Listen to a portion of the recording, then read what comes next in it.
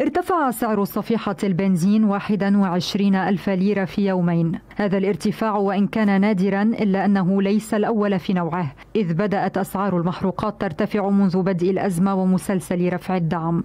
وأصدرت المديرية العامة للنفط التابعة لوزارة الطاقة والمياه جدولا جديدا بأسعار المحروقات. ارتفع بموجبه سعر صفيحة البنزين 13 ألف ليرة ليصبح 475 ألف ليرة. وكانت وزارة الطاقة قد أصدرت الثلاثاء جدولا رفعت بموجبه سعر البنزين 8000 ليرة. اليوم شهدنا ارتفاع إضافي لصفيحة البنزين أنه ما ننسى أنه صفيحة البنزين 100% بيتأمن الدولارات لاستيرادها من قبل مصرف لبنان وفقا لمنصة صيرفة. صيرفة كان سعرها اللي محدد بجدول تركيب أسعار امبارح 22 و200 للدولار اليوم ارتفع سعر صيرفة ل 22850 ليرة مما أدى إلى ارتفاع سعر صفيحة البنزين 13000 ليرة. وصار التانك البنزين 475 ألف.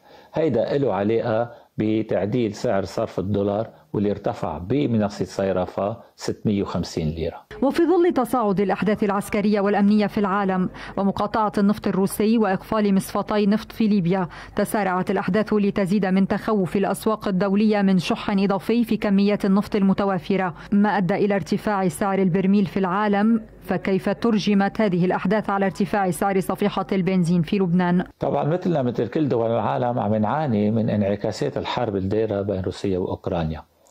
ومشان هيك نحن شفنا التصعيد العسكري اللي عم بيصير بأوروبا.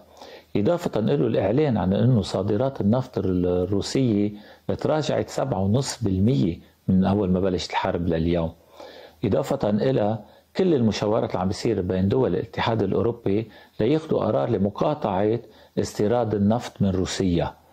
وإجا فوقهم خلال اليومين الماضيين إنه في أحداث عسكرية وأمنية بليبيا أدت إلى إقفال مصفتين أساسيتين واللي خلت تراجع الإنتاج النفط الليبي يتراجع بحدود ال 600 من 650 و 700 ألف برميل يوميا. هيدي الأحداث كلها سوا خلت برميل النفط يرتجع بخ... يرتفع بخلال أسبوع من تحت ال 100 دولار لل 114 دولار. مما أدى إلى ارتفاع أسعار المحروقات بلبنان إذا ما من سقف لارتفاع سعر البنزين فبين ليلة وضحاها قد تنام على ارتفاع ثمانية ألاف ليرة في سعر البنزين وتصحو في اليوم التالي على ارتفاع بقيمة 21 ألف ليرة. زهراء فردون قناة الجديد.